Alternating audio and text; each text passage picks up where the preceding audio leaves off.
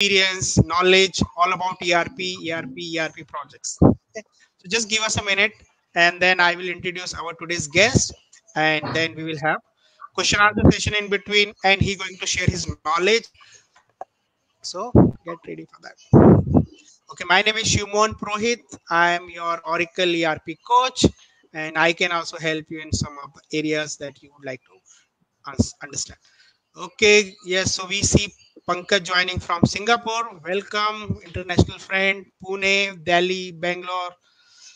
Bangalore, great, great, great. So, thank you, friends, for joining on Sunday evening time. I understand it's your family time and you're taking time out and joining this. So, we have almost 18 friends joining, 18 people joining on this live stream.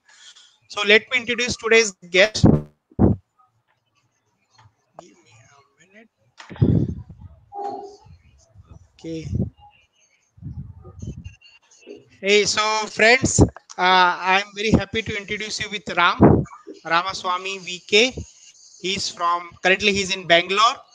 He's having tremendous amount of experience. I would say like two decade or more than two decade experience in Oracle and ERP project management. So he's super senior for all of us and this is a great opportunity and we feel privileged that he's available and he's open to share all his knowledge all his secrets and all his learning with us all about oracle erp so guys if you are interested i need some energy from you guys. So please type yes i am ready. We are ready some sort of this comment. We are ready. Uh, i need uh, see some comments with saying i am ready or we are ready to start this session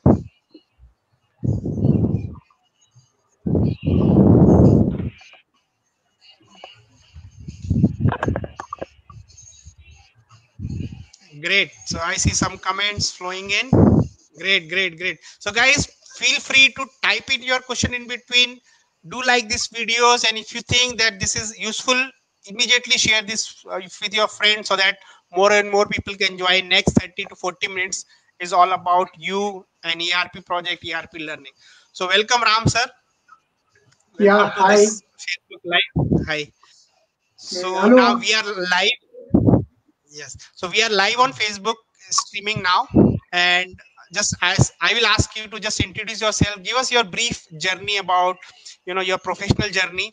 And then we will you know start today's topic. And then you know we'll, we'll go in flow. Sure sure. I have prepared this presentation. So i will start off my presentation itself. It covers my erp experience uh, uh, everything. So let me uh, let's do it in a very structured way. So I'm sharing my screen. Can everybody see my screen now? So uh, Shimohan, uh, because I'm not able yes. to see you, you you have yes. to be my icon. Yes. Yeah.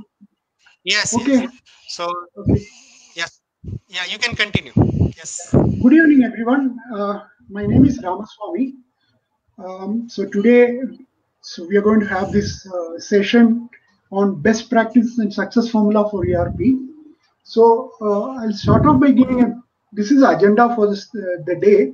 I'm not going to show you all the slides. I, I have given a link to the uh, to the uh, Google Drive location of this present entire presentation if you want to download.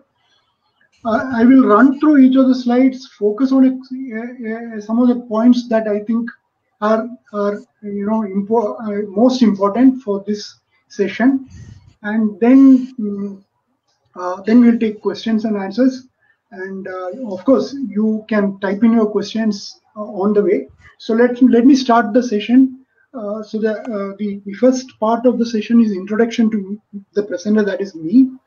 Then we go into the uh, the topic. How do you define a successful erp implementation? Like what are the criteria? Then what are the critical success factors? And then what can i do? In the sense what can you do. I i, I presume uh, uh, that if you can type in uh, what is your role whether you're a consultant whether you're a project manager whether you're a customer who is implementing or planning to implement erp if you can put it like that then i'll be able to get a like brief glimpse of the the audience profile. Anyway i have um, i have slide covering all the three of them So uh, so um, let's let's move on. Uh, uh, so here, my name is Ramaswamy. You can see uh. You can call me Ram. I've been implementing ERP uh, application for the last 20 years. I started in 2001. Actually, January 14, 2001 was my first project, uh, you know, kickoff. So, um, so, so it's almost like Shiv told. It's almost 20 years since I've been doing ERP implementations, and I've been doing only ERP implementations. Uh, I've not been doing like pre-sales or you know uh, creation of user guides, those kind of uh, or or material, those kind of work I was not doing. I've always been at the client side, always been implementing ERP, and um, I have been implementing mostly core ERP applications, procure to pay, uh, order to cash, manufacturing, uh, financials, budgeting, encumbrance accounting. Uh, so all those core ERP I've been I've been doing. I've, I've, worked on like uh, implementation. I worked on upgrade. I, you can see it. Next next sheet will tell. Um, I'm very passionate about ERP. Uh, so I, I have published a book on ERP titled Selected Articles on ERP. So at the end of this presentation, I have a bonus for you. Uh, please wait for that. Uh, regularly blog about ERP at my blog, that is ERP consultancy at blogspot.in. Uh, regularly contribute to discussions on ERP. I create discussions, create, uh, contribute to discussions on ERP. Uh, uh, I publish in my blog. I, my blog is reasonably active.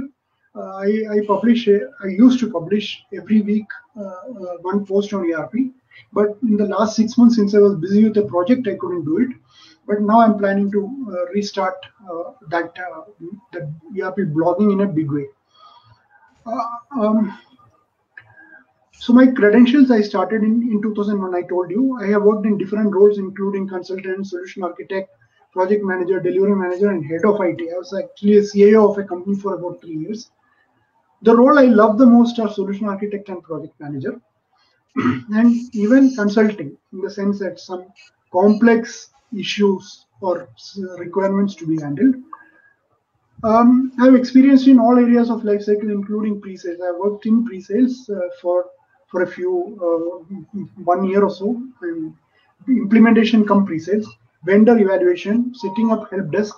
These are all activities I did as a CIO. Implementation, upgrades. I worked on multiple ERP, multiple ERP applications, including Scala, uh, Microsoft Dynamics, PeopleSoft, Oracle EBS, and Oracle Fusion.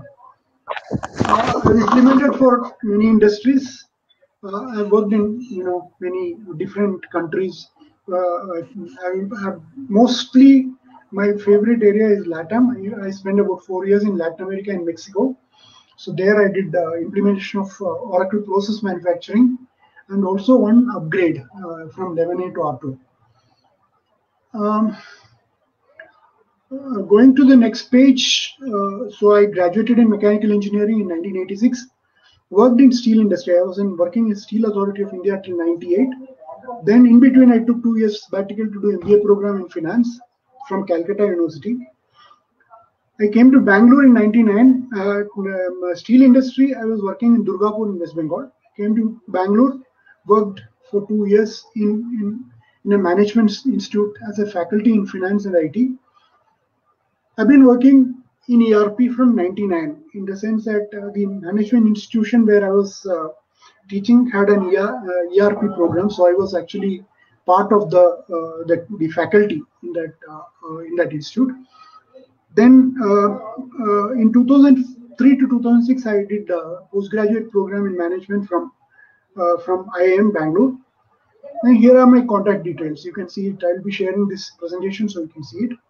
So I'm very active on Twitter also, uh, but mostly uh, Twitter is non-ERP. My ERP activity is in LinkedIn. So this is my LinkedIn uh, profile. Um, so this is a this is a small background about me. Let's get uh, jump to the topic. Uh, so how do you define a success? I mean, uh, you know, when we are talking of success of ERP implementation, we have to know what is the success parameter. Unfortunately, in ERP implementation, uh, the success depends on who is evaluating. For a project manager, the criteria will be sticking to the cost and time. Business will consider meeting their KPIs and process standardization across business units as a criteria of success. For CIO, it will be post implementation stability. Even in business, also, CIO will have a different expectation. CEO of, of the customer uh, will will expect critical BI reports and quick return on investment as a success criteria. End user will expect ease of data entry, exciting user experience, and availability of operational reports as a success criteria. Your own, if you're a consultant, your own organization will will expect uh, a different criteria, maybe customer satisfaction, maybe learning, maybe new knowledge gained in the project uh, uh, as a success criteria. You as a consultant will have a different success criteria. So, so the success criteria, there is no single success criteria from the perspective of uh, of ERP, and that is what makes ERP very challenging. And most of the time, uh, the the ERP uh, pro projects go into a challenge because of the lack of appreciation of these different expectations. So now I'm going to the second slide. Um, I mean, next slide. So what does the data say? Quickly, let us look at the data. The data is not very positive. Only 42% of ERP implementation, as for various studies, I've, I've reviewed multiple uh, multiple uh, uh, multiple writings on this this topic the, these are all posted in my blog uh, with the with the reference articles. Uh, thirty percent did not even know whether their ERP implementation were a success or a failure. That's very very interesting uh, finding because this actually tells a lot about the the way we we start implementing the ERP you know we don't we don't set the expectations we don't tell them that what we are going to deliver. We just go there like jumping into another into a running train. We just go sit in the customer's office and start with requirement gathering. Uh, successful ERP implementations are even now a minority. That is where we have an opportunity as a consultant. I'm presuming that many of you are consultants or project managers, so I have tailored my presentation mostly to you. There are a couple of slides from the customer perspective as well, which I will quickly cover. So what are the critical success factors for ERP implementation? Now, um, there are two approaches to implementation. One is a top-down approach, where you start we start with the reports, and uh, uh, then uh, then you analyze the information requirements of the customer, and then having understood the information requirement, then you start your requirement gathering, and midway in your design, you focus on the information re requirement as you go about the design. So that's a top-down approach. You start with the report requirements. This is the best approach. This is the approach that will definitely lead to a delighted customer. However, unfortunately, most of the implementations start off with bottom-up approach. Uh, uh, one second. Don't be so illogical. I'm sorry, uh, there's a there's a disturbance in the background uh, bottom-up approach, most of the implementations follow this approach. Like I said, we start off with the requirement gathering. We just go sit at the customer site and start off with the requirement gathering. As the project plan also talks about that only. Project plan also also doesn't uh, uh doesn't talk about uh, you know looking at the review of the reports and all that stuff. It is in, uh, you know projects should make it explicit that we should start with requirement gathering, looking at the reports. So somewhere in the early stages, we should have this re review of reports as a part of your uh, your requirement gathering sessions. Uh, uh, then um, what happens when you start with requirement gathering is ERP implementation ends up as an exercise of mapping the current process into ERP. That's all what happens. Many of the key information requirements, because we didn't even look at the reports, many of the key information requirements are given a go by even when the implementation meets the success criteria, customer is not delayed. Delighted. So you will have all the requirements document, all the requirements configured, shown, uh, you know, process playback or customer demonstration done, user training done. But still, customer various part, customer is going to ask you, oh, what did I gain? This is what when I was CIO, uh, this is what the business manager asked me. That uh, okay, uh, sir, we have done all this implementation, but what is business getting out of it? So ultimately, what happens is the ERP ends up as a cost center. Uh, so every time you talk of investing ERP in the management meeting, you will be talking about how to reduce the cost. Whereas ideally ERP should be a profit center. ERP should add so much value, get so much cost benefit, get so much process standardization that ERP should end up as a profit center. ERP should meet its own, uh, deliver its own cost and above. Uh, uh, I have seen this happen. I have seen ERP providing huge benefits. But um, but in my experience, uh, I've done about 25 implementations. In my experience, you know that is very rare where ERP is giving a lot of benefits. Ultimately, ERP up as just a back office data entry application. Anyway, that is not that that is what we should not allow to happen, and that's the purpose of this session that we are talking.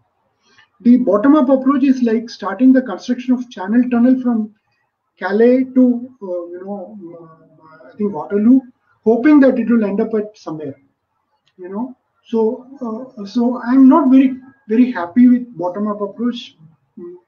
And even if you are doing the bottom-up approach, because most of the implementation methodologies focus on bottom-up approach, but this awareness should be there that ultimately we are going to implement a reporting system, not a data entry system.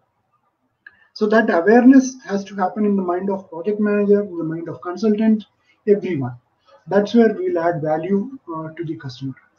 So now let me go to the uh, next one. This this set of slides, I will just quickly uh, uh, uh, quickly skim through. Before that, I just want to take a pause and see whether we have some questions that you know I need to address. Okay. Okay. Thanks, Ram. Thanks, Ram. So, uh, guys, if you have any questions, I see we have a lot of project managers joining the sessions, business analyst, solution architect, so different community people. So, sorry, guys. So, feel free to type in your question. So, before we go into next section, uh, Ram can take those questions immediately right now. Uh, so if you have any questions, let's uh, take those questions. And Ram, I have one question actually in my mind. Yeah, uh, you know, because you have almost you have seen you know a pre-internet or pre-mobile era of project management, right? Means like now we use Zoom, we use mobile, we use screen uh, sharing tools and all, right? In 2000 or 2002, 3, 4, all these things were not there. So what changes you see in project management that time in ERP project management per se and now like how you see that that shift or those kind of changes from client point of view from consultant point of view from as a project manager point of view see um, uh, frankly uh, you know i have not uh, seen a lot of change ultimately uh, the requirement gatherings requirement and the definition i mean the design of the solution, these are all application technology independent.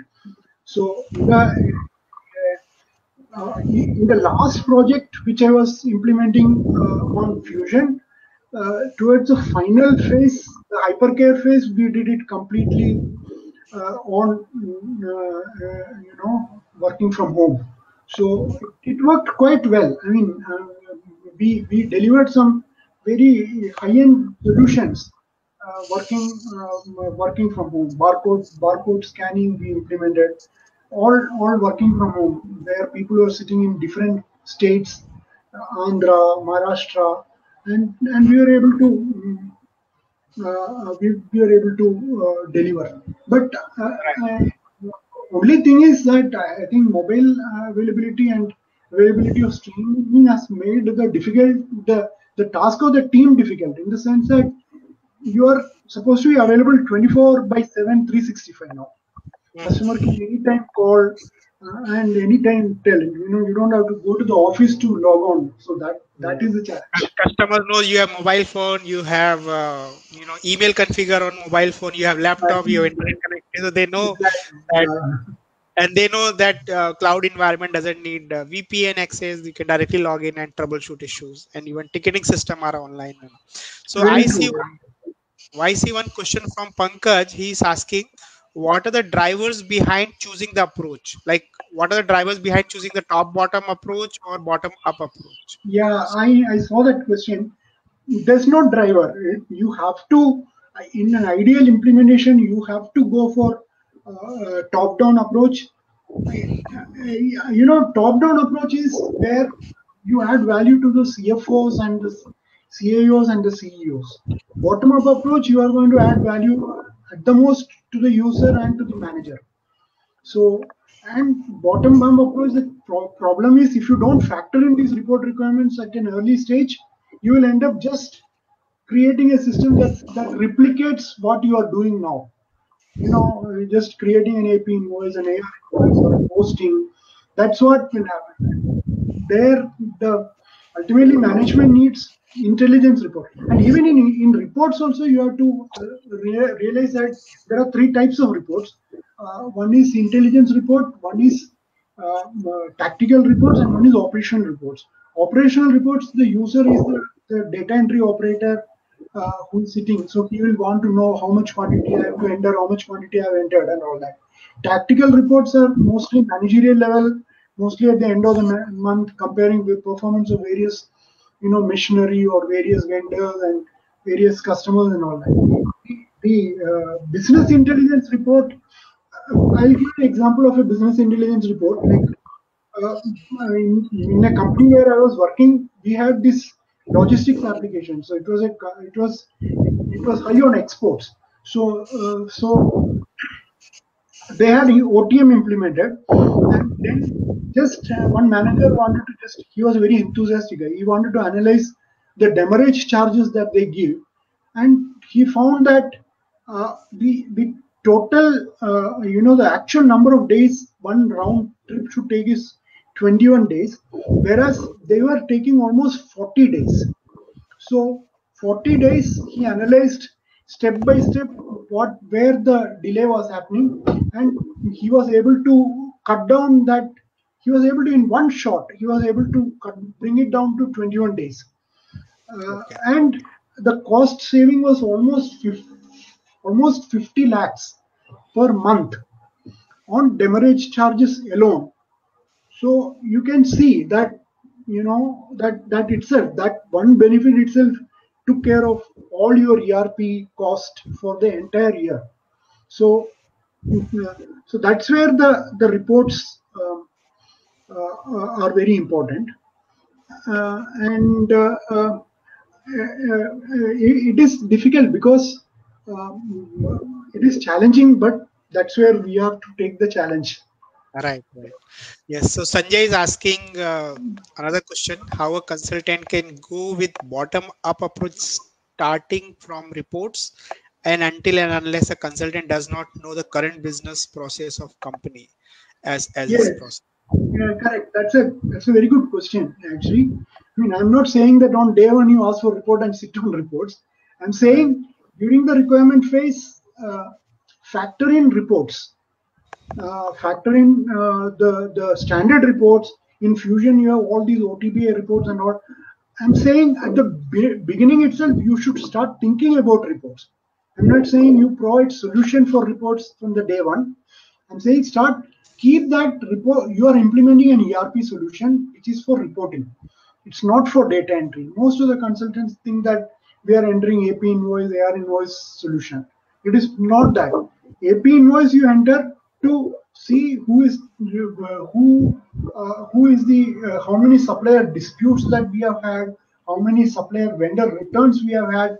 These are the information intelligence available out of the data that you enter. So if you are focusing only on AP invoice entry, you will miss the you know wood for the trees. So make sure Okay. to factor in uh, uh, you know reports. Uh, be be aware that you you are entering you are you are implementing a reporting solution, not a data solution. So uh, consultants uh, have this in mind. They have this idea that okay, I implement, I will help customer to enter AP invoice, AR invoice, bulk upload of receipts, all those things. But all of them are not add, going to add any value to the customer. You know. Okay. So, uh, so Right. as a consultant, you have to add value. Okay. So let me move on to my uh, presentation. Uh, uh, so this uh, uh, this section is a little long, so I'll quickly go through. Um, so uh, I'm saying for for success factors, these are the five phases: preparation, planning, testing, training, and stabilization. These are the five five phases in any ERP implementation. So in each of these, what are the success factors?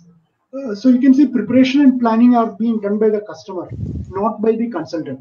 Starting from requirement gathering, testing, training, uh, stabilization is where consultant is coming in. So mm, uh, since we don't have customers, uh, I don't know whether we have customers in this group. I will just quickly go through it, and I'm not going to spend time on this slide. I'm just going to scan this slide and and make sure. So here, uh, what what I'm talking about is two things. One is the current process and the future expected process.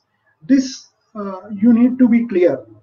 Uh, it's not the future expected process. It doesn't mean that you know it is a process to be followed in ERP. What is it that you want out of the system? That's what you have to do. Do not replicate your current process in the ERP system. It's not like an extended version of your current system.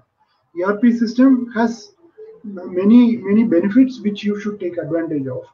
So uh, so in the future expected system, you will say, okay, we want this to happen, and these are the these are the benefits that we envisage or anticipate out of this future system. So that way, uh, you know, you should approach it. Customer data. Everybody should focus on data, whether it is customer, whether it is project manager, whether it is consultant, whether it is solution architect. Everyone should have focus on data, because an ERP implementation, you know, there are three um, three key uh, uh, uh, key activities that will ensure that your ERP implementation will not will not fail. It may not succeed uh, uh, from the customer's perspective. It may, it may not delight your customer, but three, if you focus on three areas, your ERP implementation will not fail. One area is uh, uh, is uh, uh, uh, solutioning for the critical requirements. The second area is configuration. Configuration also you have to be very careful because some of the configuration can be irreversible.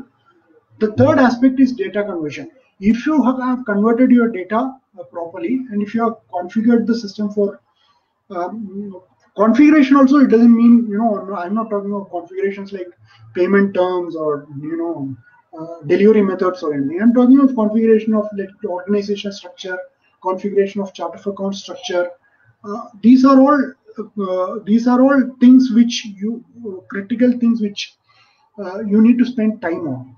Most of the consultants spend a lot of time on operational aspects like how to configure india localization how to configure uh, you know ap invoices how to configure many of those things if you have your configuration right customer will somehow manage to live with whatever is your given but if your data has not been converted properly unfortunately in many in most of the implementation that i have reviewed data conversion was the single most cause for failure.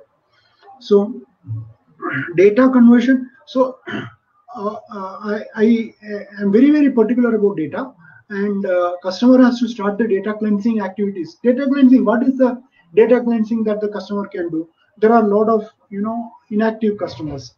He can in the existing system itself they can review the inactive customers and discard them as they bring in. There are a lot of inactive transactions. Let's say an ap invoice which was created two years ago which has not been paid. So those things and all you don't have to bring into your new system. So start looking at those aspects of the uh, of the data. And the the data is is very very you know i and as a consultant as a project manager as a solution architect i'm very very particular about data conversion i know that if i get data conversion right everything else will automatically fall in place And if I get it wrong, like in my company where I, uh, I was a CIO, the data conversion had gone horribly wrong. And it took almost three years for the application to stabilize. It took two years for the first year closure. So, so data conversion challenges have major, major ramifications, especially in the localization environment. Uh, because compliance report, income tax department is not going to wait for you to stabilize your ERP system. So, uh, so data conversion is, is very, very, critical. Uh, in the preparation phase, this also has to be done by the customer. Get a good demonstration. I mean, don't go trust the vendor. Just expect the vendor to demonstrate some of your critical. I mean, I'm sorry, I have to go to the next slide. In the planning phase, uh, um, uh, planning phase, the critical aspect is of change management because you're you're going to have to uh, restructure your organization, uh, have to identify new roles, you have to realign your existing resources, you have to identify you know key users for your uh, project, uh, uh, planning for the transition of resources to new roles. All those things take a lot of time, so customer will have to plan it very properly, establish a, um, a PMO and this is very important. I'm very very particular like data conversion another thing i'm very, very particular about is communication. There is nothing called excessive communication.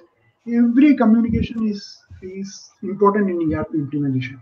So communicate communicate communicate is you know the mantra of success I, there are there are some seven characteristics of, for a consultant to do one of them is uh, listen and one of them is document so this part of communication so, uh, uh, so I will skip it. If you have any questions, I can answer it later.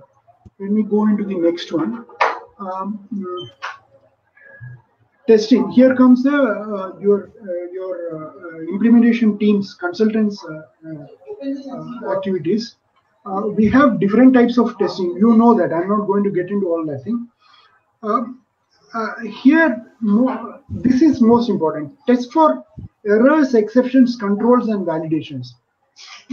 This is where your testing will become very strong and test on production data as much as possible. These two are very, very important in, in testing. If you look at uh, most of the test scripts, uh, test documentation that you have, you will always see that uh, the general transactions are being tested. Uh, like, you know, you will test how to create an AP invoice, or how to create a you know payment those kind of things you will you will always check but you will never check the exceptions you you don't never check uh, check if i create this error if i make this data wrong what is going to happen? For example uh, in india localization if you uh, if you validate and then apply prepayment it will not work. So you have to first apply prepayment and then only validate the the ap invoice at least as of in the current version of fusion so these things are exception which you will not test.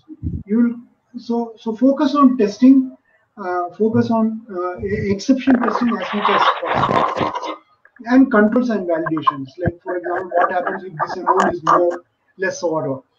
So this is very important. Also, test uh, ensure to test the reports and documents. If you create an AP invoice, you take a printout of the invoice from the system and see that the data has come correctly in the in the uh, in the reports. Um, if you create a material flow, print out the GRN document and then see whether the material receipt has happened properly. So uh, this this should be a part of your testing. But if you see most of the test script do not have focus on these uh, you know outcomes of your testing. They just say okay you do test, but exception testing and uh, looking at the reports and document many of the system many of the uh, you know your ERP implementation methodologies due to time constraint probably doesn't focus on. Um, training, uh, training.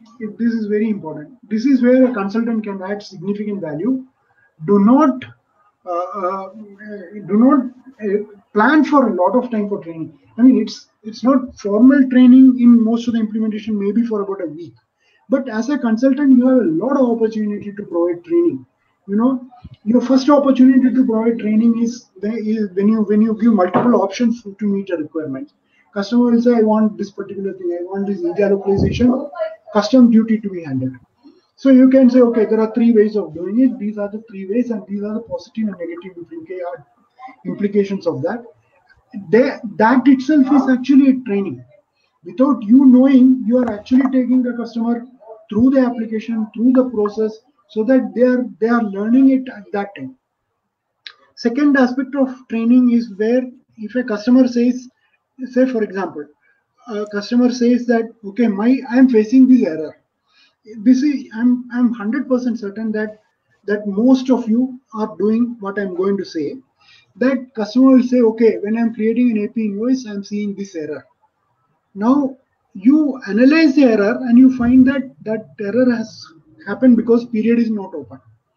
What you immediately do is you immediately what you are doing is you will open the period and say, okay, issue resolved. That's a one line uh, issue resolved is one line email that you will send to a customer. Please test. Customer will say, okay, issue is resolved. But has anybody benefited out of your solution? Nobody has benefited. You could use it this particular issue to sit with the customer, take him through the period close process, and to show him that this is how different as part of the ERP is working together. You see that your period open is in the general ledger module, but without doing that, you are not able to do the transaction in the payables module. This is what ERP is all about, and this is what the user you can you can elevate the user, you know, just by putting into context. You will lose you will spend only uh, 30 minutes with the user, but the value that you add to the to the to the implementation is huge. So, uh, you know, find out all opportunity to train the user in different ways. Most of the time, sit with the user. Don't as much as possible time you do face-to-face contact. Uh, because some of the issues you can't resolve without face-to-face contact. There are some examples that I have given in my blog. Uh, I don't have time to go to elaborate on that now. But um, uh, as much as possible, in any in many of the implementation, what I see is an implementation team sits in go comes in the morning, sits in one room, gets out of the room, and go home. Don't do that uh, because your ERP success is based on the user adoption. User adoption doesn't mean that user just knows ERP. User adoption also knows that user has a confidence on the implementation consultant. So that confidence will come only if you go and sit with the uh, with the uh, user. Sitting with the user has its risk, definitely. He may be able to identify some of your weaknesses. But so what? You are here to learn. Nobody expects everybody to a super consultant anyway. So as much as time spent uh, time with the user, uh, say, spend time setting context for every issue. Every issue that comes to your way is an opportunity for you to train the user and add value to the organization. Use that very effectively. Uh, uh, and process flow training. If you are if you are talking of purchasing, do not stop with purchasing. Take it to the end to end, you know end point of AP invoice payment and posting. That way, your purchase order user will know that if he makes a mistake, that mistake cascades down the entire organization chain. Not just earlier, uh, your purchasing was a silo. His his issues got restricted to that silo. But in the ERP, if you show the pro process flow training, every user will know how they are interrelated with each other in an ERP ecosystem. And that is very important. Every user will feel that we are not alone. You know, we are in it together. And that actually has a tremendous power to uh, speed up the user adoption. So spend time with the user, be patient with the user, use every issue as a opportunity to add value to the uh, uh, to the, the, opportunity to train the user um, and ensure flow training. These are few of the uh, suggestions for successful ERP implementation. Uh, in the stabilization phase, uh, this is mostly to be done by the uh, the by the customer. But in this, I want to tell you one aspect where the consultant comes the consulting skills, the soft skills that are required in in uh, stabilization is totally different from the soft skills that are required during implementation. So many a time the implementation consultant himself is doing the uh, doing the um, um, uh, uh, uh the the uh, stabilization support.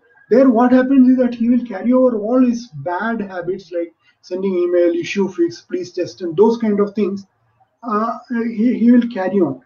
The during the hypercare, the the expectation is of patience expectation is of ability to paraphrase the requirement from the end user end user is not key user he will be giving some uh, some uh, vague description of an issue if you go and solving that issue then you will find that you have solved the wrong issue so ability to paraphrase uh, and in in this hypercare one more challenge is that the users are spread all across the country or, or all across the world.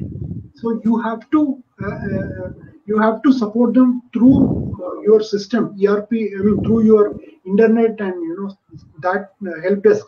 So there talking to the calling up picking up the phone calling up understanding seeing the issue asking asking them for screenshots explaining the issue all these things are, are of paramount importance so, uh, as a consultant, you have to understand that if you are implementing, you need a different set of soft skills where you don't have to talk much. To the once the requirement is over, once I probably once your solution design and demonstration is over, you don't have to talk much to the uh, to the customer. But a support consultant has to talk to the customer 24 hours. So the skills different, uh, required are very very uh, different. Uh, Okay, so this uh, is the next uh, logical endpoint. Any questions that you have, which I can take? Okay, so we have few questions, uh, I think in between. So Ram was asking, so should we do more negative testing in the testing phase? I think you were covering that topic. Yes, I will. I will say. Uh, I, will say not uh, the more negative testing uh, means the more you are getting into the mind of the end user. That's always good.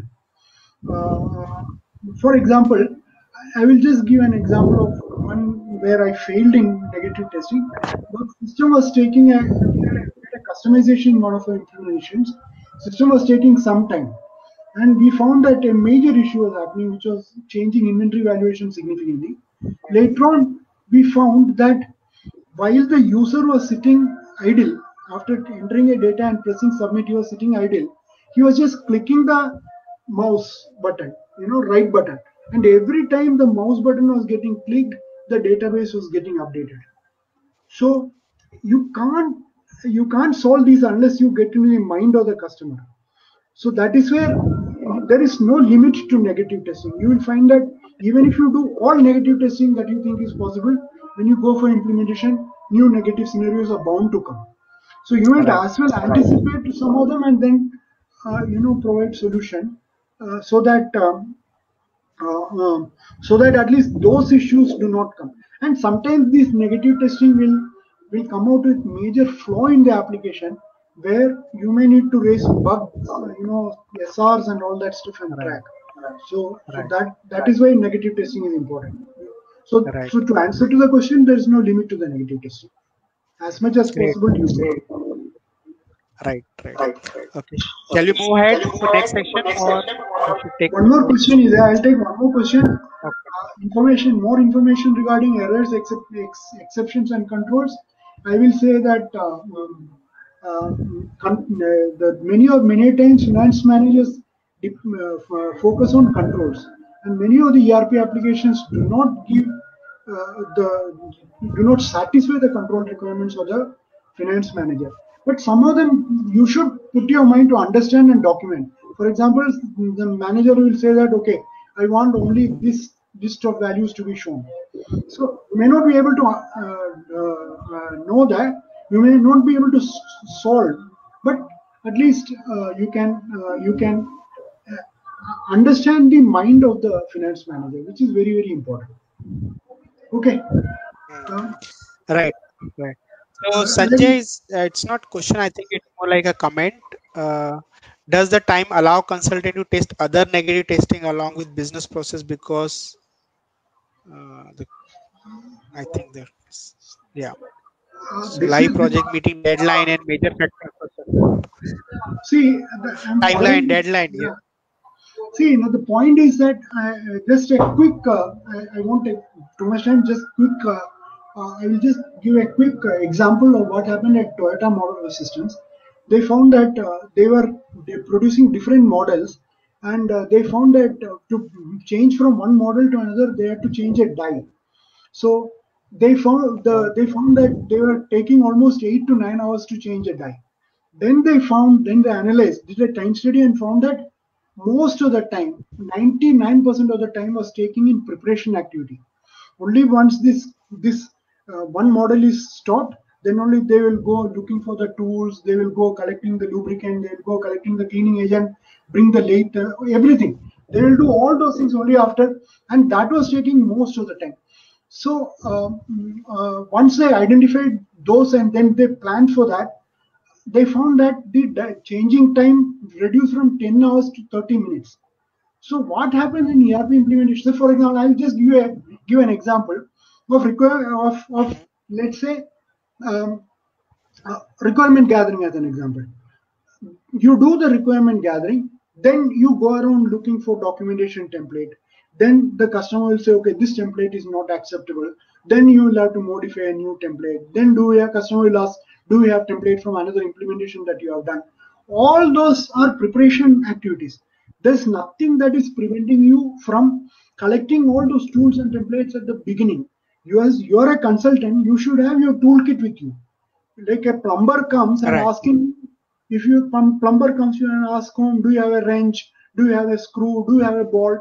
Then you will say what kind of plumber he is. But this is what an ERP consultant does. He goes to the implementation and then start looking for the tools. So uh, that is where a lot of time gets. For example, solution design document. There are a number of projects which you have done. Why can't you take a template of a solution document and then update it to meet the customer's requirement? That will reduce your Right. timeline significantly in these areas, right? So, so there, I, I don't have this. I don't have, you know, I, I, I don't like this deadline. You know, it is these are not mutually exclusive. Customer has to be happy, and for that you have to deliver all these things. You can't say that you know I will cringe on you know my testing Right. because of a deadline. That is what happens, but Right. yeah. Yes, yes. True, true.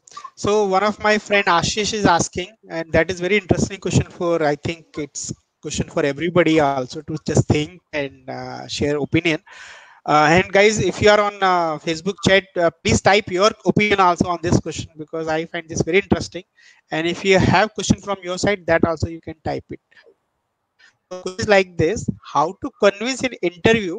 Because this is more like a job-related question how to convince an interview that a support consultant is good for implementation role as well even after answering all questions correctly couldn't convince the interviewer. So i think he's sharing his own personal experience also. Uh, so what is your thought on this? Like support consultant when they go for a new job uh, for a consulting firm there's a mismatch right? Because you work in support you can't do implementation. How how how far this is true? How to convince interviewer no this is not the right perception. Support consultant also equally good in implementation No, the yeah, I I, I sympathize and empathize with this uh, Ashish for this question, which Right. is true also because a support consultant has to basically take over from from the implementation, and if the and he will have to bear the brunt of all the mistakes in the implementation. So essentially, Right. he uh, he knows the requirement, but he doesn't know how, you know most of the time support consultant will not have setup access, configuration access, and all that stuff. So due to that, what happens is co- support consultant do not get some of the uh, uh, some of the skill sets required for an implementation consultant. But if you are a support consultant, Right. you have to understand that gap and try to fill. I, uh, Shiv, Shiv, uh, Shiv himself has put up a uh, session on how to learn, you know, Fusion in 21 days or something. So that is a lot of resources where a consultant can go and learn. So if you are just done support, and if you are expecting that just because of the demand in the market, I will get a job, you may get a job, but you will you will struggle because implementation is necessarily different from a, a, support activity. Right. right. And also one more thing I, I, right. Yeah, go ahead. So I, I share my my perspective here on this. See, I when I see support versus implementation, I see you know both are very two separate thing. Uh, total separate personality trait is required. Support is more like you know you will be sitting in a place, you would be working on a system and troubleshooting issue and fixing issue in a given timeline in a given scope of the work. Implementation means more like hunting. You would not be knowing anything you need to be very upfront with the customer you would be dealing with all new situation you would be handling the deadlines and expectation for the future expectation from the business side so Right. the personality and the way you communicate you work the tool you use the day-to-day activities you do in implementation is very different than what you do in support and that uh-huh. is where most of the interviewer doesn't get convinced from the support consultant that they could be good implementer. Just one example. Implementation guys required to run a full day trainings full day sessions three hours four hours continuous sessions where support guys need to attend you know weekly sub status meeting and uh, following that deadline uh, in terms of sla you know support the ticket. So the nature of work is very different. And that is where i feel that even if you're working in support project you need to develop your personality in such a way your work culture in such a way that you become a solution provider. Not the ticket fixer not the you know closing the ticket but think how you can provide the solution. Because that is a one trait which is common in support and implementation. And that is where everybody see that if you're working in implementation you need to understand the solution. You need to understand the business psyche of the people like how they are asking and how we are providing the information. So this is Mm. just my point of view Yeah, definitely true. i accept but then I think it is more difficult to move from support to implementation. The, his question is very valid. Uh, than it is from implementation. Yeah. Mm, Uh, right yeah. good questions i think manju also asked the same question so manju i hope uh, uh, sir uh, ram sir and myself able to answer your question and uh, i think there is some feedback from ritvik also let's take that No, uh, Manju's question, support consultant can def- definitely because many of the consultants are support right to support, right? It's not a, it's not a ladder that you cannot climb. Only thing what we are talking right about, both of you are saying is uh, the the knowledge uh, level, knowledge required, the the challenges which are going to be faced, and the style of communication required are different. So you need to you need to right get ready for that difference. Exactly. Even i started my career as a support consultant. My first uh, project and career was totally uh, uh, you know daily support and weekly support and running monitoring jobs uh, you know uh, cleaning the interfaces tables and all. So i understand this thing uh, very very Ritvik has, Ritvik has made a couple of good points. Ritvik Kumar Mishra, uh, a support, yeah. support consultant, knows the challenges which customer is facing, so that uh, he can, right you know, when he's implementing, which is true. I mean, support consultant has a better. See, you need to have both the views. You know, you need to have implementation and post-implementation views. So uh, you know, right you can't be you can't be complete without both the views. But the right point is that uh, it is more challenging to move from support to implementation than from support. That's how it is. But you know, that's where you have to you have to buck up. No, when the going gets tough, right that get going right. Okay, great let me move on to the next uh, next. Yeah. Yes. So guys, guys, we are really having very interesting session here. So I need everybody's participation. We see around 40 people on live. So feel free to type your question. We like to know your opinion, your questions, your feedback because this is all about knowledge sharing.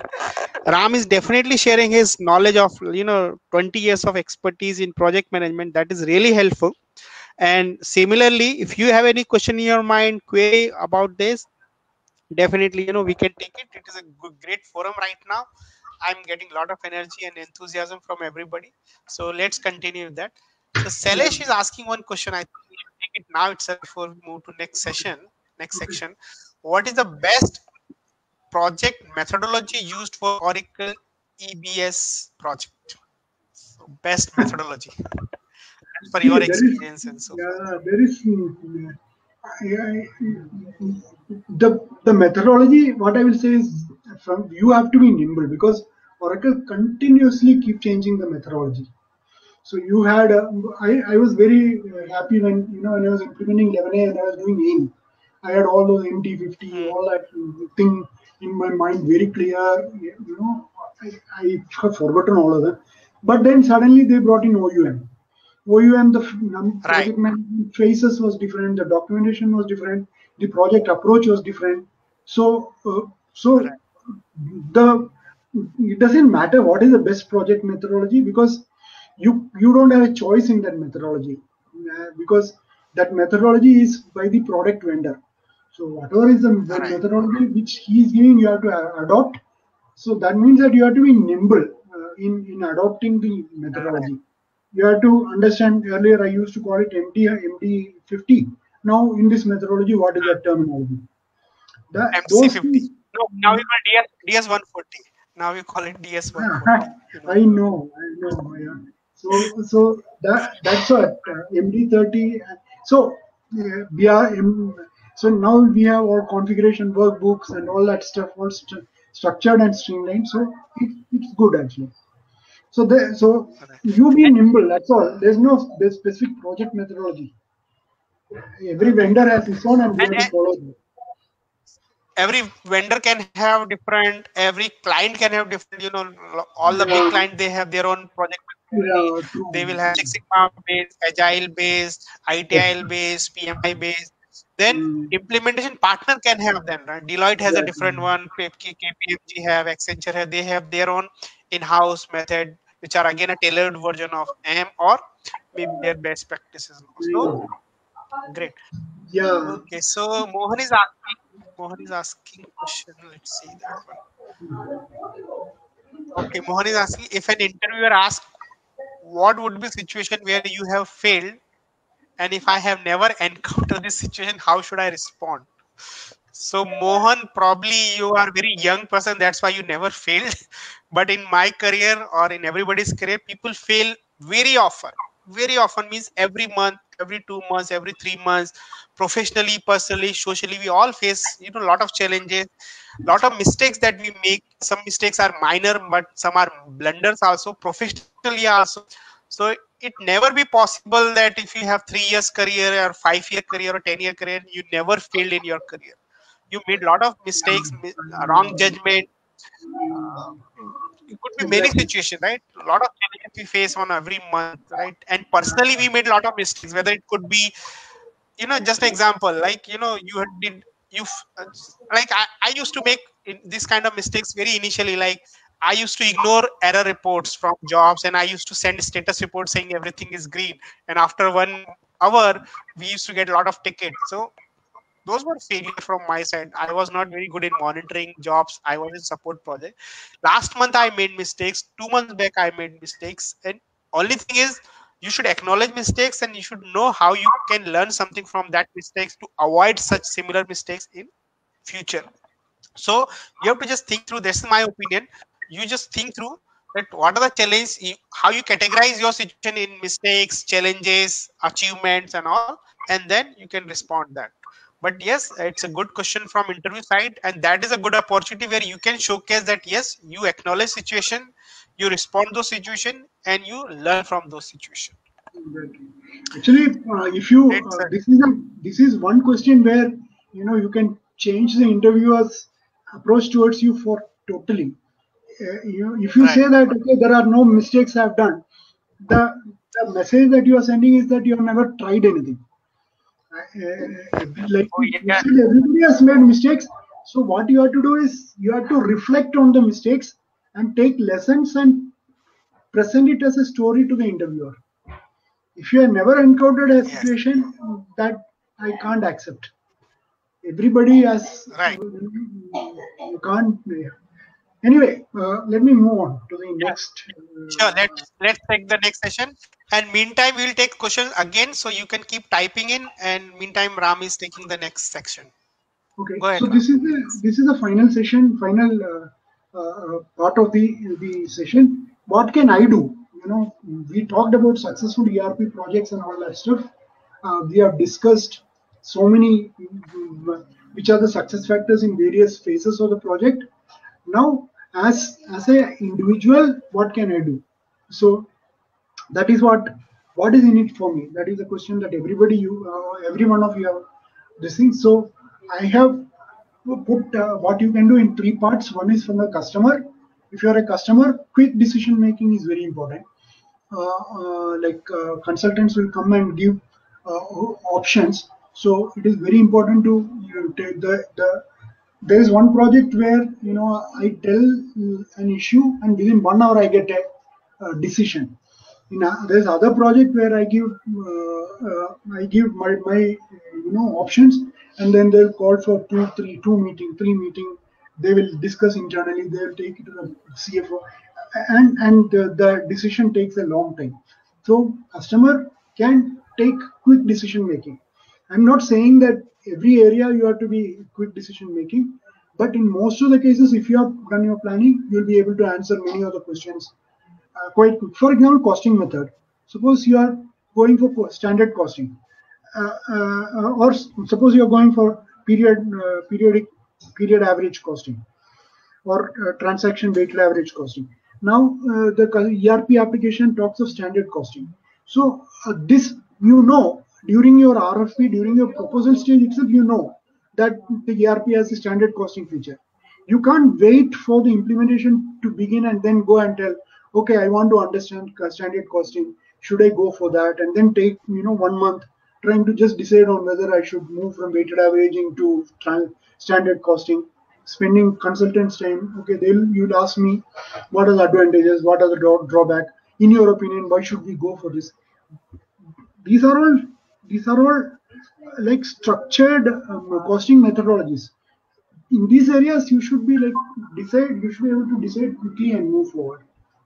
Uh, another area is good balance between rigidity and flexibility. For example, uh, uh, in, in my latest project, uh, import customs duty, the, the requirements of he was very rigid. Like, for example, I want this, I want that, I want that. So at a higher level, he was very clear, the CFO, on what he wanted.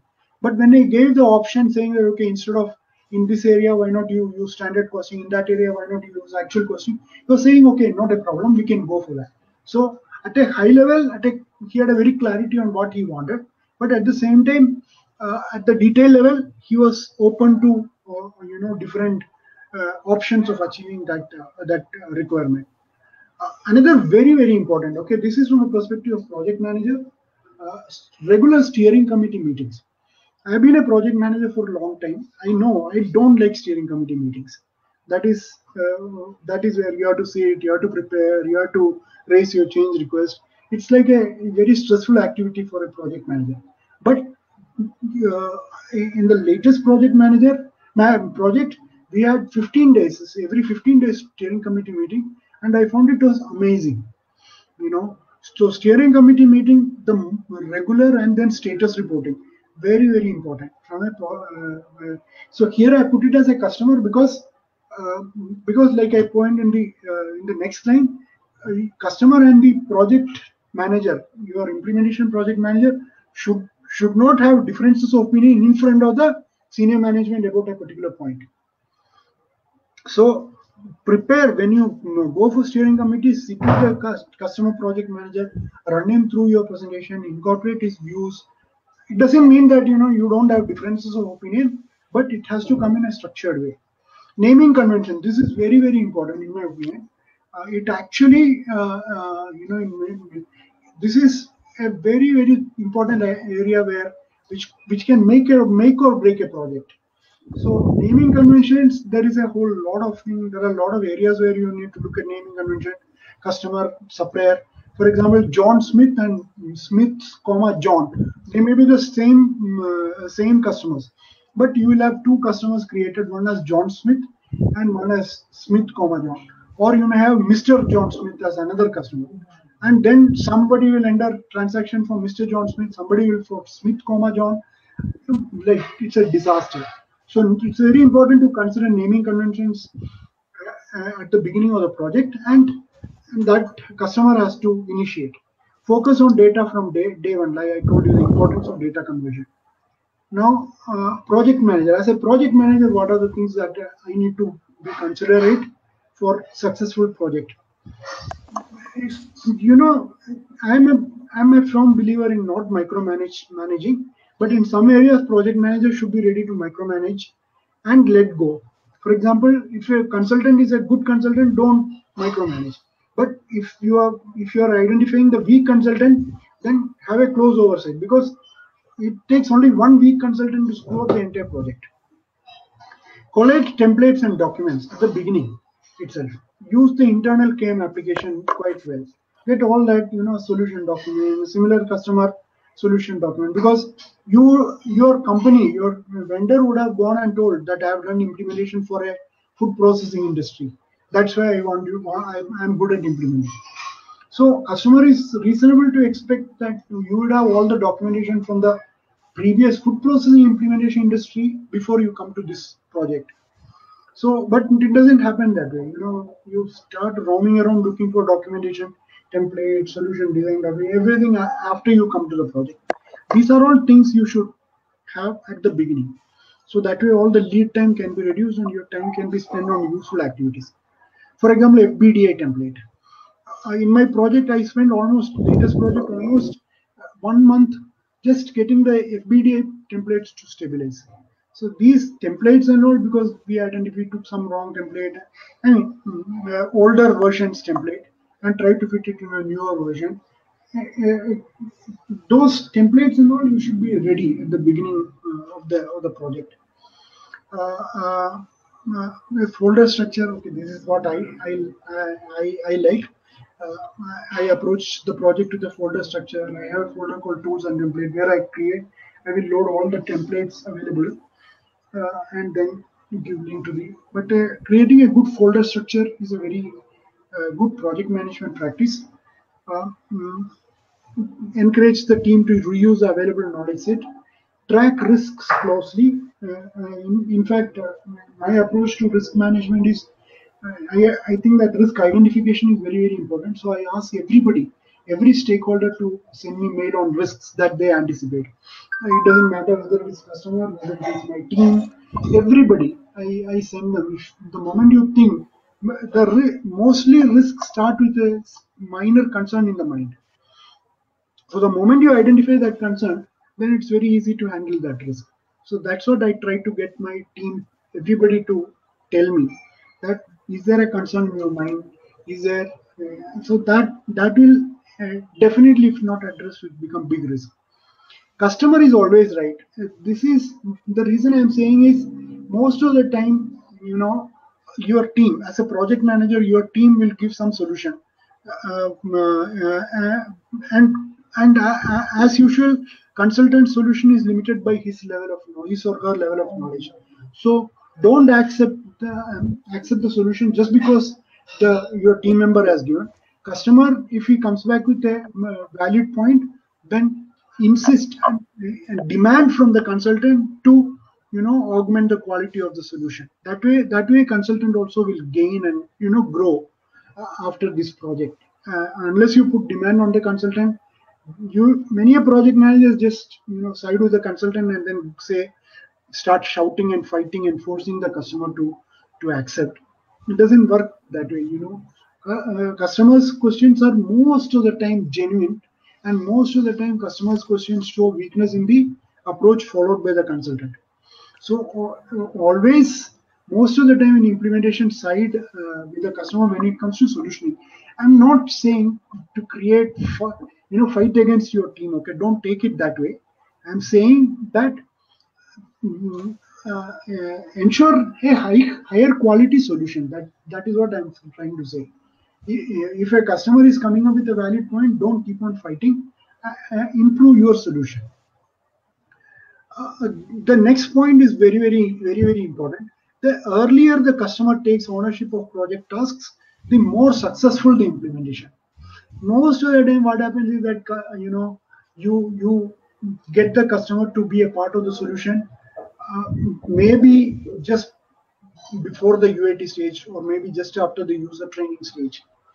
But that won't work because uh, there are a lot of areas where the customer can add value in one of my projects, uh, I got the customer involved so early that at the time of UAT, he sent a mail saying that I'm not bragging here.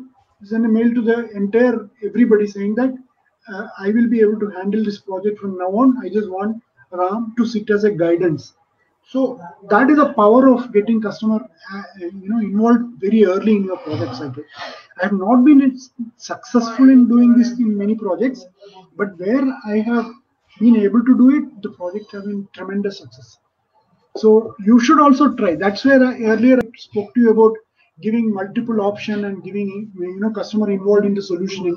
Another very good area where customer can be involved is in you know raising SR and following up. Uh, you raise an SR and then you ask the customer just to follow up, track this SR. In the SR itself, give the customer's name and detail as a reference. Many a time SR will guys will say, okay, do this testing and give me the output. So, uh, so guiding the customer to do that, you may diagnostic set, for example. You may have to spend some time guiding the customer to get the di diagnostics test first. But going forward, every SR, the customer is uh, going to take ownership. So there's a lot of power to getting customer involved much early in the project. Uh, uh, business con continuity planning, you know, this is not in the cloud environment. Uh, I think it is redundant in cloud environment, but in EBS scenario, this is very, very important. What happens if your server shuts down and it's not available for three days? Like, let's say when I was in Bombay uh, as the CIO, uh, heavy rains came and the the the uh, the cable uh, got severed, and three days the the data center was not able to give us the instance. So what to do? Compliance. How are you going to smoothly transition from going from ERP back to your paper-based documentation? And how are you going to ensure? So a lot of implication sequences, document sequences, this, that, all those things. How are you going to handle? Plan for that during as a project manager. Like like I told about the reports, keep that at the top of your mind. If you are in, a, in an on-premise implementation uh, not much applicable in cloud environment. So these are some of the things that I, you know came to my mind. Uh, as a consultant, uh, an ERP implementation is only as good as the weakest consultant in the chain. Um, so don't be that weak consultant. That's my first point.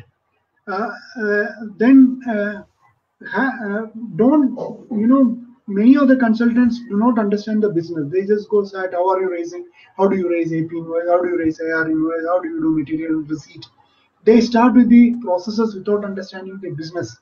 So uh, understand the business, go through the web page, understand what it is doing, understand what are the raw materials that it purchases, understand what are the processes it does, understand what are the uh, who are the major customers, is it an export company, is it a local company, what are the product that it's in? Go to the market and see their product buy their product for food processing industry. Go and buy their yogurt and drink. Find out uh, how they are uh, you know doing it.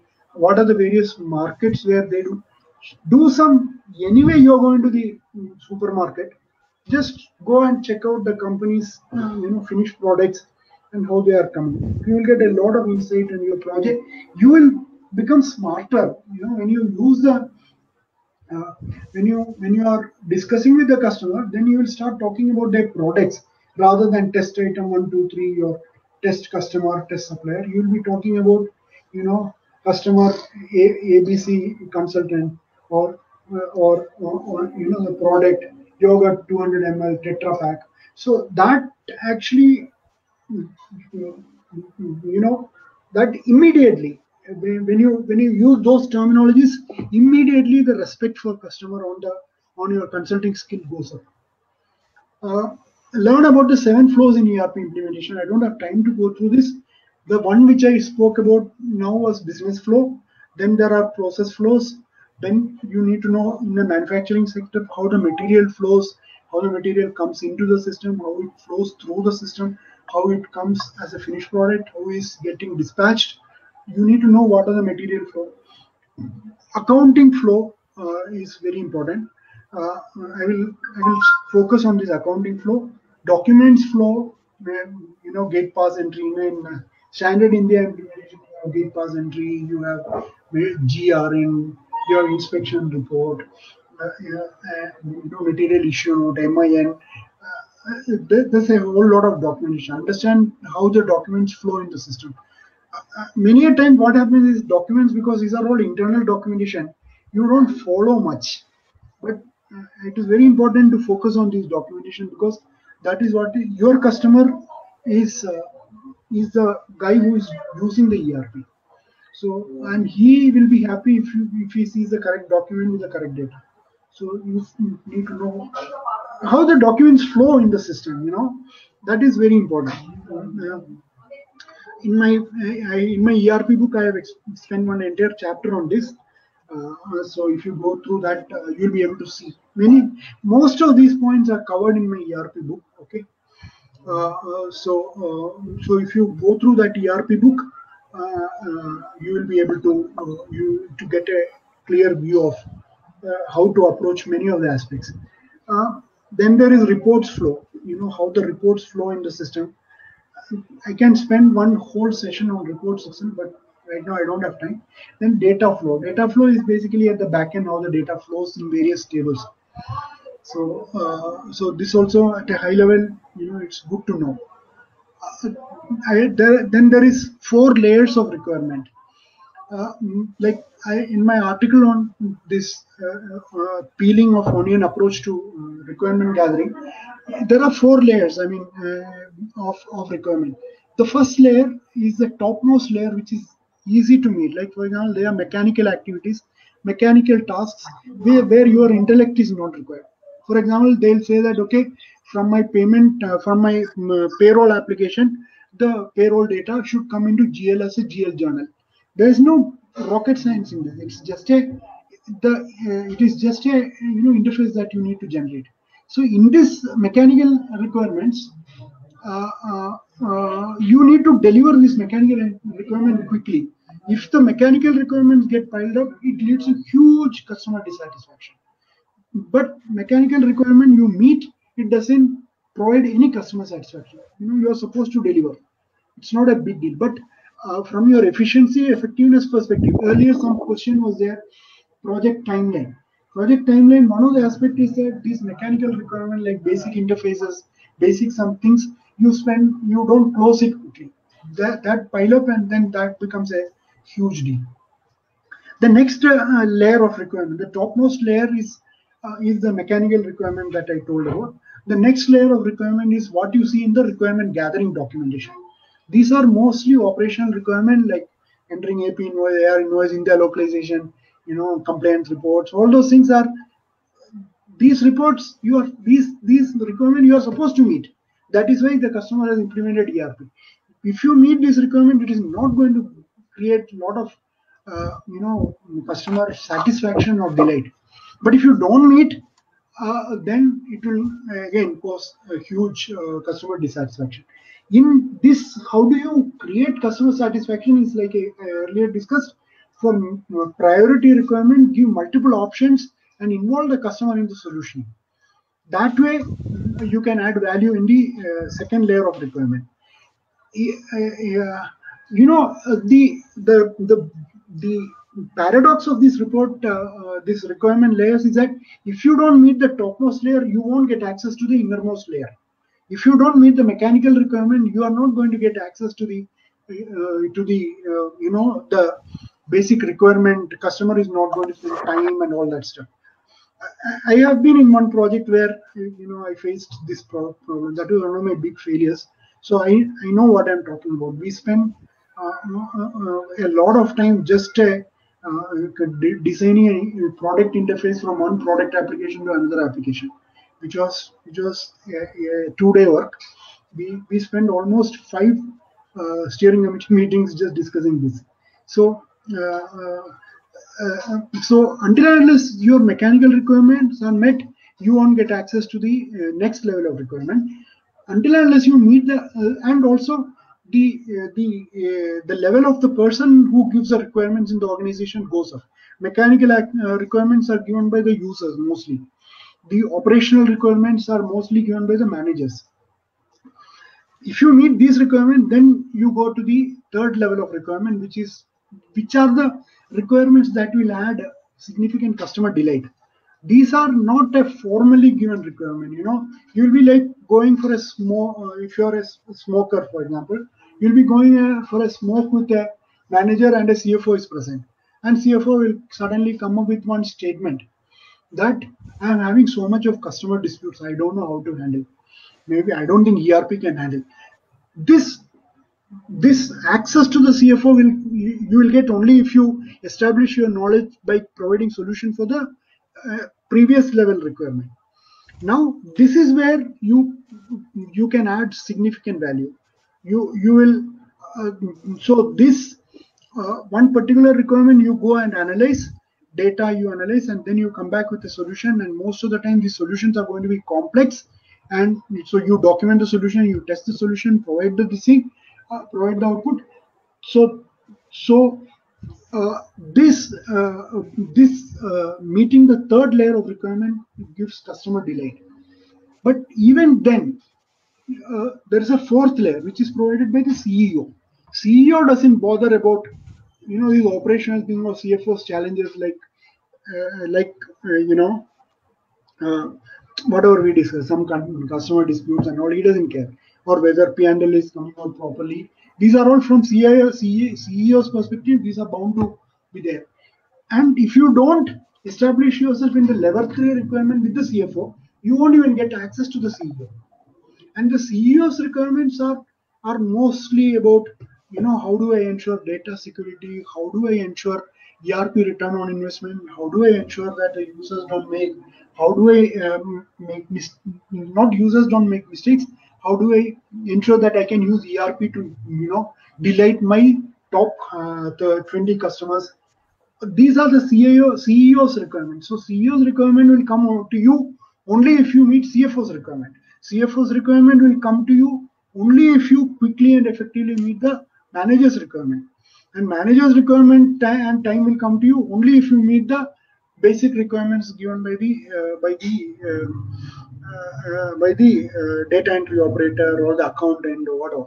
So it's very important that to understand the concept of these requirement layers and quickly each layer you have to close as quickly as possible so that you will have enough time available for higher layers because as you go up in the layer the time taken to resolve issues become more so, uh, so the earlier you close the mechanical activities, you go into the next level of operational requirement.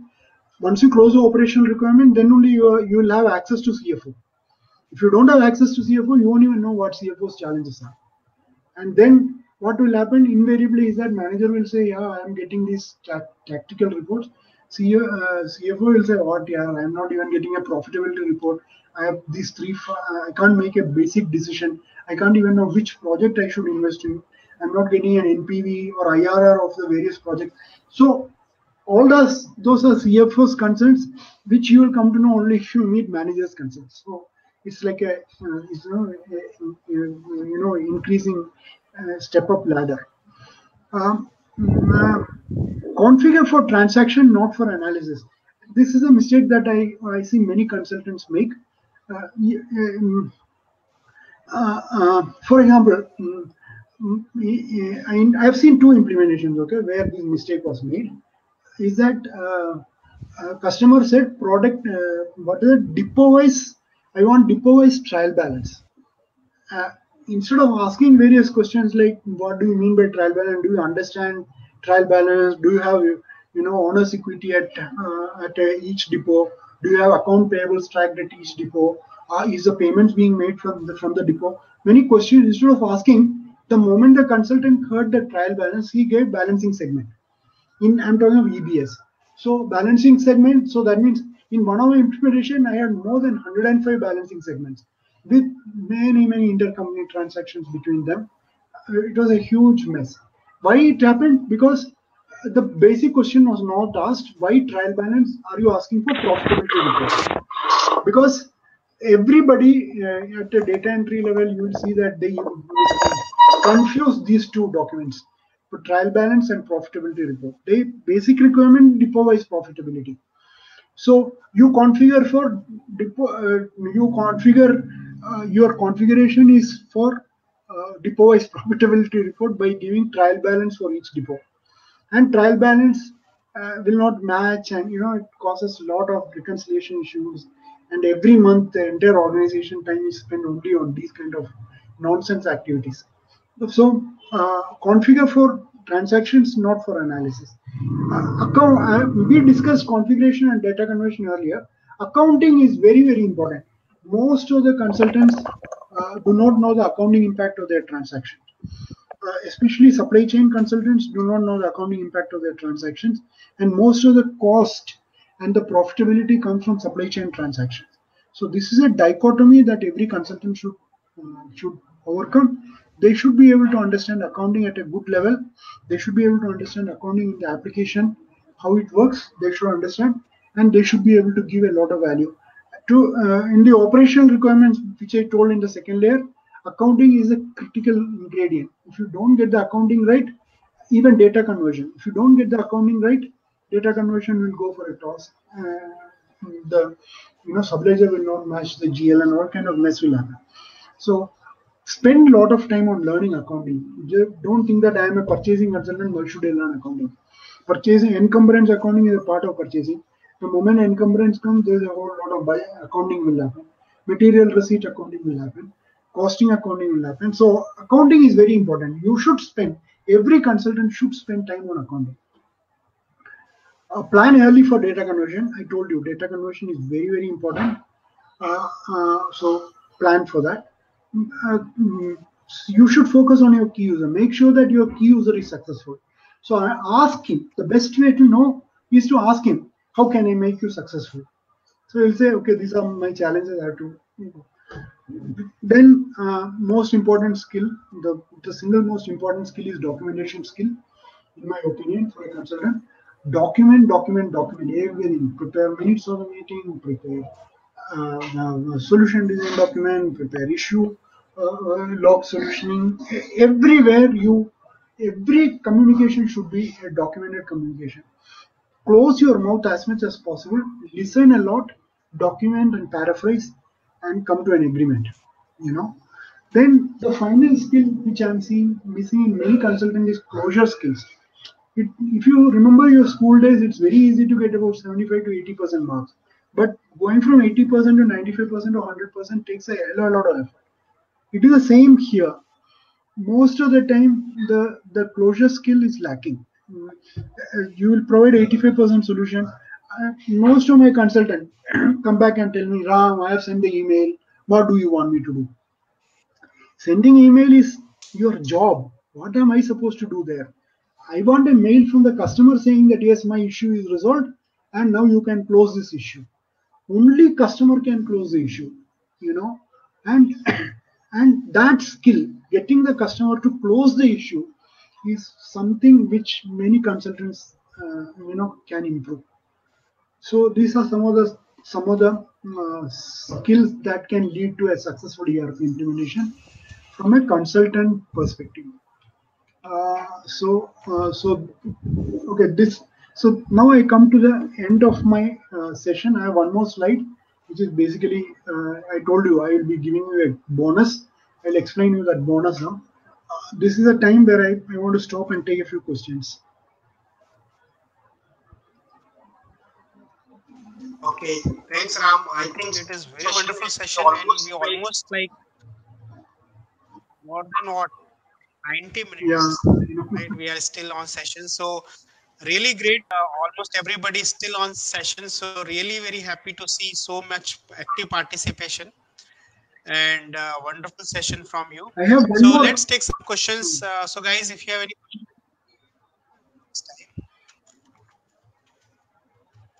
so let's give a couple of minutes couple of seconds actually to get some question he is saying one one question is from one one question is from Mohan, which says that working in Oracle for more than 13 years and not get a chance for to involve in GL activities directly. How should we take this? No, uh, don't mistake knowledge of accounting for knowledge of GL. and saying accounting, uh, I think that is the context in which he's asking this question. You don't have to get into GL to know do accounting. You know, when you are creating a material receipt, there is an accounting and inventory is getting debited, debited and some accrual is getting credited. So you need to know. You need to have a vision of how the accounting is happening. You need to know what is this accrual account, what is the difference between P&L and balance sheet, what is top line, what is bottom line, how does inventory valuation impact your P&L. These are the conceptual understanding of accounting that you need to know. It's not like you have to do GL to know accounting. Mohan, I hope you are able to. Yes, yes. That answer is clear.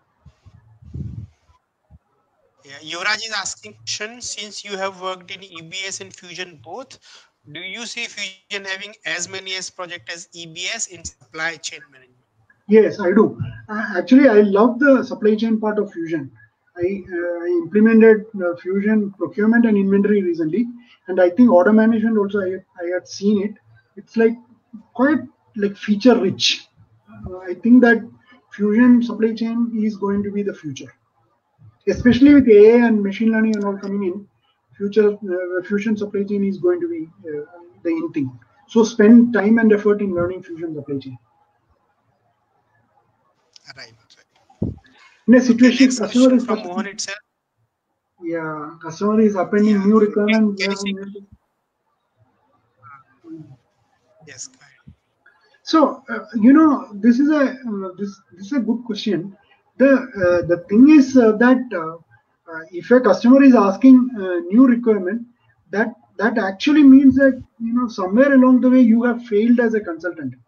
You know, in the project. That is what I will I will say because uh, mm, uh, the, these are requirements that should have come if you had followed the process this situation would not have come because you see there is no incentive for the customer to give a new requirement after UAT. He is also having a tremendous schedule challenge. So if he is giving some new requirement, that means it's like really significant and important, and and you have missed that. You know, so so um, how to handle it is project manager has to decide. uh, You know. Uh, product manager, thoughts you on product. I don't have any thoughts. I don't know what is this uh, product manager itself. Uh, So uh, product manager means uh, this is a terms actually comes if we follow the agile methodology and uh, everything considered as a product. So uh, you know Oracle team will become a product, implementation will become a product. So they will think that we are building a product, implementation will become a product. So it is more like agile and scrum way of uh, terminology. In Oracle career, what stage you can make a decision to move ourselves toward product manager.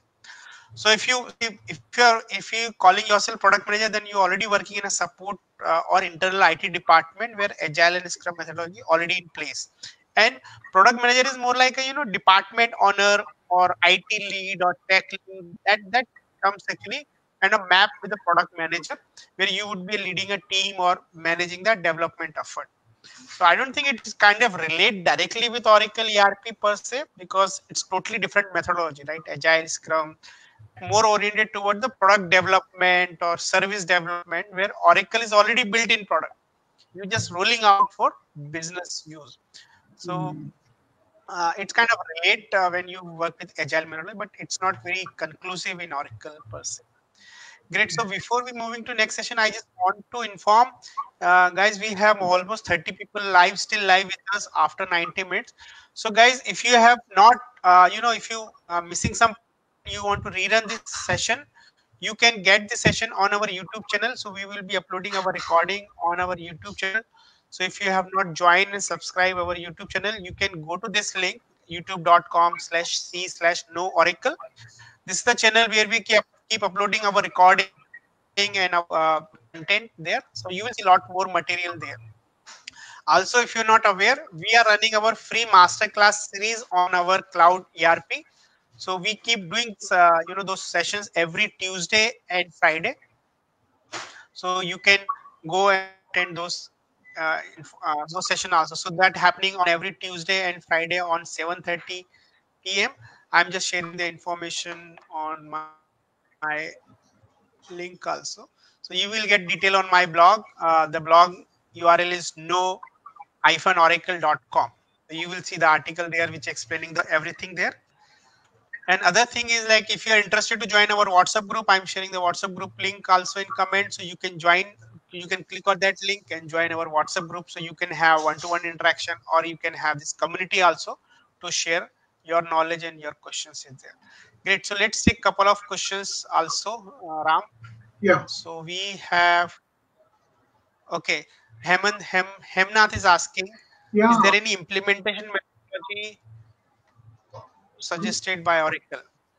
Yes, uh, we discussed this earlier, right? Earlier it was AIM, then it became OUM, now it has become TCS, TCM, Total Cloud Methodology. So uh, Oracle has its own methodology now. Yeah. Okay. Okay. Which So now Oracle recommend TCM methodology, which is a version of OUM. Uh, so even if you are comfortable with OUM, you will find TCM methodology is just another version of uh, OUM. And OUM is free. Actually, you can download and install on your laptop, and you can go through that. TCM is more like a private methodology, so only implement some implementation partner or employees have access to that. So, So, that is a um, question. Yeah, go ahead. There is a Yes. question. There's a question from Rinku. There's a question from somebody who has. Can you please look into this question? What is the question? I don't know. Yeah, please type your question again. Yes, please take Yeah. Rinku's question. Rinku's question is: Can you provide some thoughts on integration in Oracle Cloud? Your learning challenges, like uh, uh, um, see, uh, what we did all the integration, we did it through FBDI. Uh, so, uh, so there is uh, um, uh, uh, FBDI is the easiest, uh, you know, integration uh, technology uh, which Oracle is providing you. So, uh, uh, so I, I don't know about the other Dell Boomi or OIC. I have used in EBS, but you don't OIC. Uh, um, uh, see, OIC we looked at uh, for for for integration. OIC is also Oracle Integration Cloud. It's a it's a good solution, but then we decided to go in for for FBDI because it was more intuitive. So I, you know, it's not a recommendation or not recommendation for any of the uh, of the products that you're mentioning. It's just that I have I've not done used any of these uh, tools. Um, okay. Okay. So I, I can share my opinion here uh, because I gone through some of the product here already. So if you really think yourself as a technical person and you want to build your career further in technology, you should learn MuleSoft. MuleSoft is the number one middleware right now in ERP space. So you should be learning ERP and that is free also. Free means the whole learning is free. You can go to uh, MuleSoft.com and Salesforce product. It's free. And almost you will see every second or third customer using MuleSoft compared to OIC or Dell So definitely we all should learn uh, MuleSoft. Even if you're not learning you should aware how it works. So that will help. OIC is definitely a tool that Oracle sells to Oracle customer, but you will see if you're working in a new customer, you will see that more and more customers are using MuleSoft.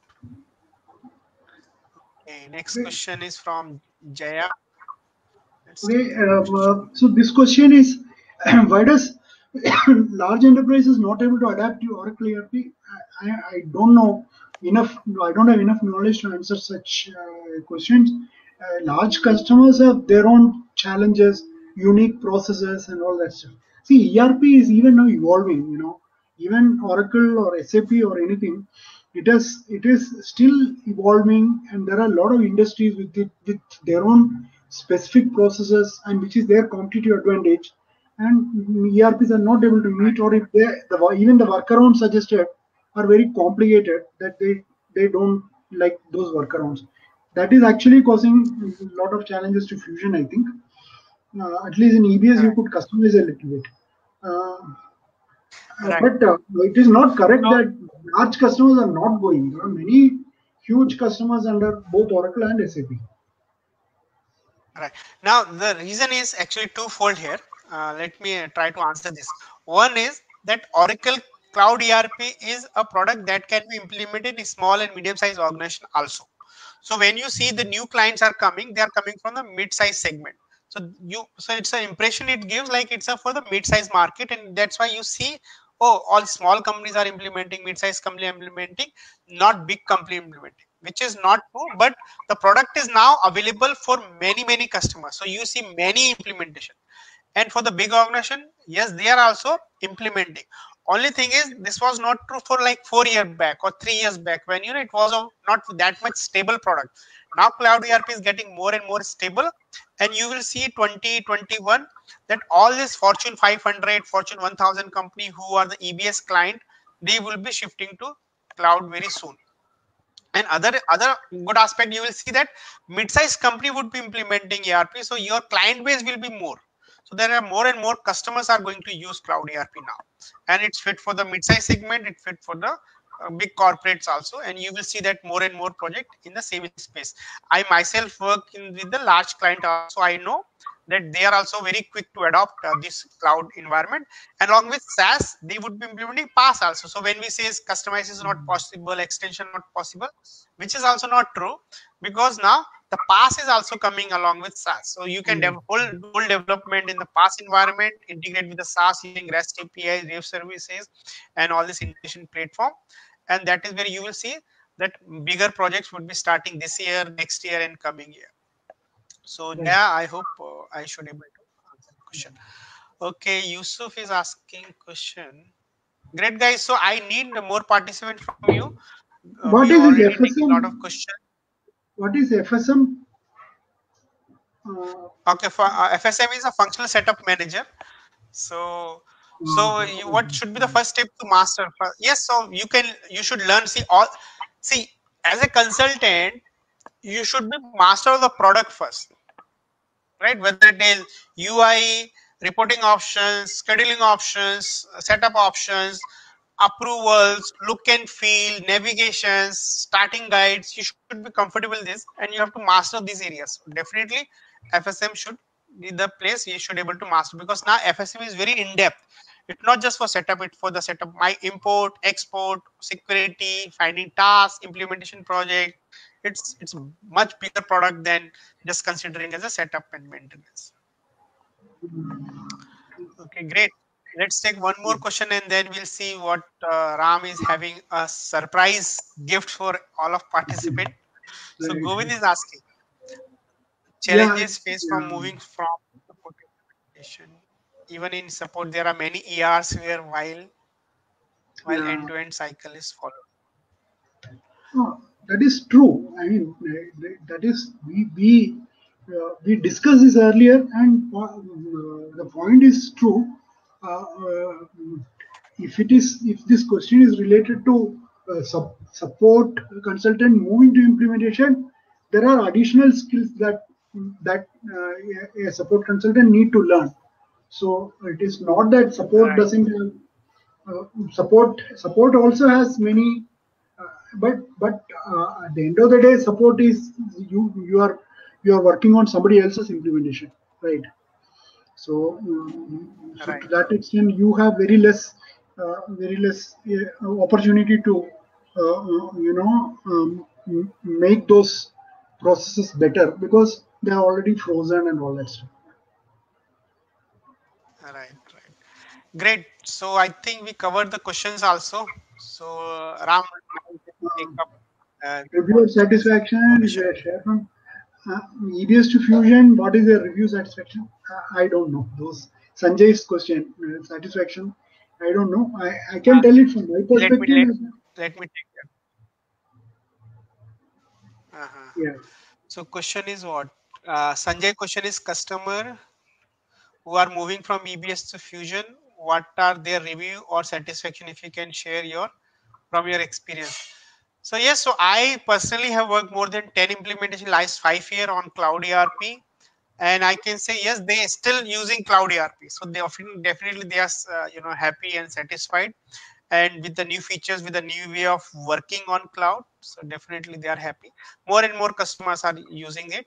And you will see a lot more project, obviously, because of current situation, you won't see many new project. But once the situation get better, you will see a flux of project uh, in cloud ERP you know, uh, there's one question from uh, from yeah this this question. Why to learn multiple projects? I I, see. See, uh, though I just want to take one point which uh, which uh, Shiv, uh, mentioned a little earlier. Uh, you know, the paradox is that a customer is uh, you know re- re- selecting a consultant for his product skills, but the success of the implementation depends on his business skills. You know, if he can't understand the business requirement clearly, uh, uh, knowing any product, whatever in depth, you are not going to make the customer happy. But if you know the business well, but if you don't know what are the features in the product, then also the customer is going to be unhappy. In one project, I've seen you know both these situations. So, uh, so it is. I can say that it is relatively easier to learn product than uh, the process, uh, the the business process. Spend because see business processes are permanent knowledge. They the the way customer is going to create purchasing GRN data, not, they're not going to change. But if you are a 11i supply chain guy, you will have you will be at C in uh, release 12. If you are a release 12 guy, you will be at C. For example, uh, SLA configuration. SLA configuration is totally different in EBS and in Fusion. So if your if your bread and butter is focused only on learning the product, then once the product changes, uh, you know who moved my cheese situation will be. So you you should spend, in my opinion, 70% of the time understanding the business part and 30% of the time understanding the product part. Because mapping the business to the product is is all all see again i'm saying as a consultant you are going to implement product only. So uh, become a product expert but uh, definitely product expertise is required. But you only you need to understand that product is there to meet the business provide solution to the business. So without also have a clarity of business requirements.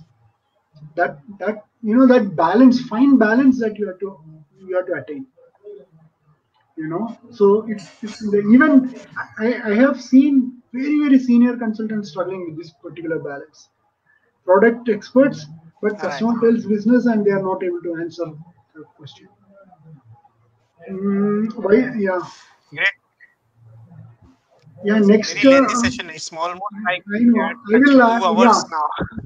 you know so what we'll do is i will just take you through the next slide and we'll stop it and uh, uh, my Yeah. contact details will be there uh, and this slide is also available so you can download this presentation and uh, in case you have some specific questions you can always you know send an email i'll be very happy to help i would rather that uh, you go to my blog and put uh, put your questions in the comment section so that i can answer so that others can also benefit I don't have a problem in answering Yeah, I'm individual sharing questions.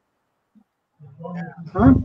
Yeah, I'm sharing your I'm sharing your blog link also to guys so they Yeah, can sure. quickly go and Fine.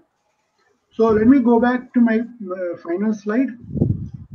Uh, so this is the participant bonus, what I was mentioning. Uh, so first is this, I've given the URL where I have put a Google Drive of my presentation. So you can check that uh, presentation in that Google Drive.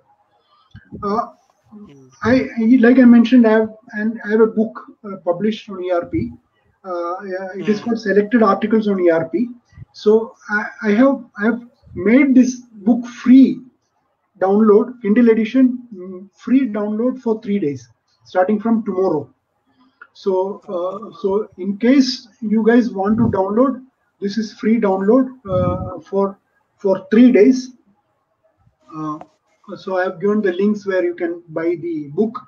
The book name is Selected Articles in ERP. Um, so I'll just put it here.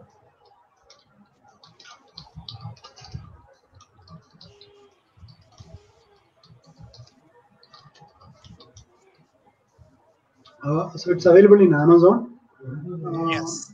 You can get it. So for this part, uh, this is I- I'm not I'm, I'm, uh, I'm just informing uh, all of you uh, that you can download it and you can read. Even the Kindle app is free for you, so you can download. And only my request is uh, is not a demand. The request is that in case you find uh, you re- get to read, uh, download the book and read it, please uh, uh, drop uh, comments in the Amazon. Uh, Amazon against this book. Please, please update your review comment uh, so that uh, you know I'm planning to update this book with some more you know incorporating the the reader requirements. I have not done any marketing for this book. I just put that book. I, it was a self-published book. It is there, and uh, so you can you can download the book. That is my gift for for spending uh, you know time with me for the last two almost two hours. So thank you So so now we have to download tomorrow, right? Today it's showing two dollar eighty cents. To No, no. tomorrow it will Tomorrow, be yeah, tomorrow, uh, Ju- June 1, 2, and 3. Three days. okay. Great, great. So guys, this is really a great gift from Ram for all of us that uh, this book will be free. It's its a regular price is five dollar. He's keeping it free for three days. So better download e- uh, what Kindle version and share with your friends also. And I'm definitely going to download and read it and share my feedback. Definitely, I I learned so many things from Ram and really grateful for Ram to sharing this knowledge. You know a lot of people think that uh, you know sharing knowledge is like you know sharing your secret sauce success sauce right? But i feel ram share like a flower fragrance right? The more you spread the more uh, happiness will be around. So uh, thanks ram for your two hours long session. And thanks for all our my friends followers who joined this session and stay with us for almost two hours. So great uh, on sunday evening. Stay safe stay home. Now we are closing the session. So hope uh, this is very knowledgeable and useful session for everybody. Stay in touch. I share all the links and uh, uh, ram's information also we share. And i will updating the same information on our facebook group so you can if you are already member you will see that information. If not you can join our facebook group. We having our next master class would be on tuesday. So we covering up cloud reporting section right now. We already done our three classes. Now this is our fourth classes. So three classes still remaining. So you can join tuesday friday tuesday friday 7:30 p.m and get the benefit of that free class also. So great. Thanks ram. Uh, thanks everybody. Take care. Good night. Bye. Good night.